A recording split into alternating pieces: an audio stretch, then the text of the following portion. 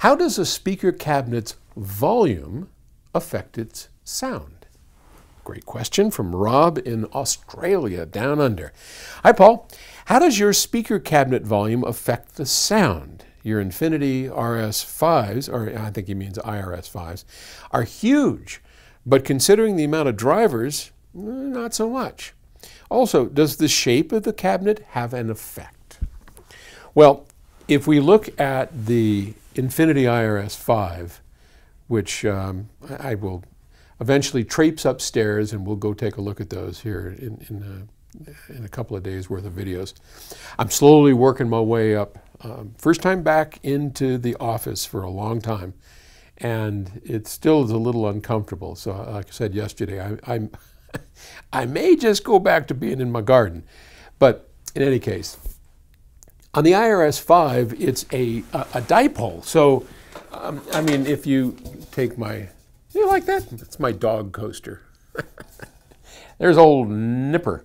Um, so if we imagine that this sort of flat plate holds all the drivers for the IRS 5, and we just line them up on here, they come, the sound comes out the back, comes out the front, and it's a very thin, I mean, the whole speaker is only what? How big is? I'm not very good at measuring. Two inches? Well, thicker than this. But um, the idea is the same. There is no box, right? Because it's it's a dipole, and while sound comes out of both sides, there is no reason for the box. Okay? So picture it as a panel making sound going front and back. Where we run into the box is in the woofers. Okay? Now, and we should talk about this at some point, the open baffled speakers. People have asked me about those a lot, and maybe we'll, we'll touch on that a little bit.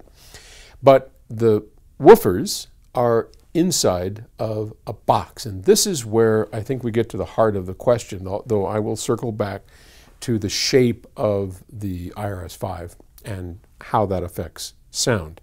So on woofers, we'll just, just take a single woofer. We're going to put that into a box.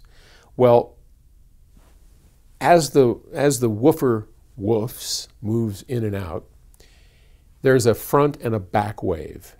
And just like in a dipole, the front and back waves, or the rear waves, are out of phase with each other. Now, in a tweeter, in a mid-range, the wavelengths are pretty short. And so it doesn't take a lot to block the back sound from coming and eliminating because we know that two out of phase signals cancel each other, right?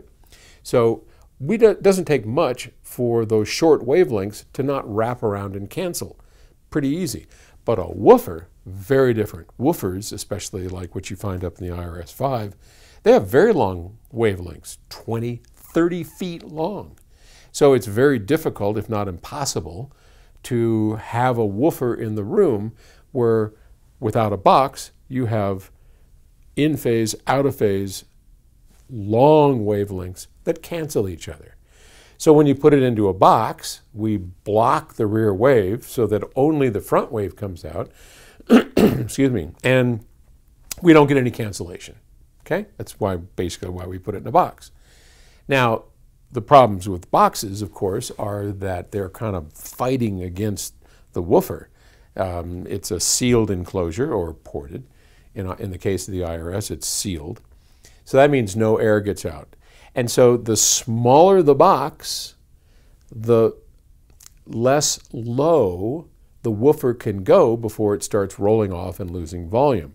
The bigger the box for woofers, the deeper those woofers can go without any kind of problems.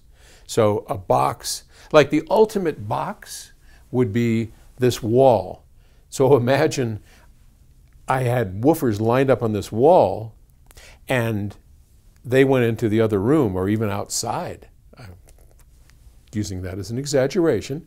But when we do that, there's no back wave and there's no back pressure. So this woofer is just going just bang, done. That's a big, yeah, that other room behind here, that's a big box. But we don't normally do that. So we put them into smaller boxes. So the size of the box determines how low the woofer can go. And if it's a fairly small box and you want that woofer to go lower, what you can do is you can poke a hole in the box. That hole is called a port. And that port is usually maybe about this big, and it can port out the back, it can port out the front.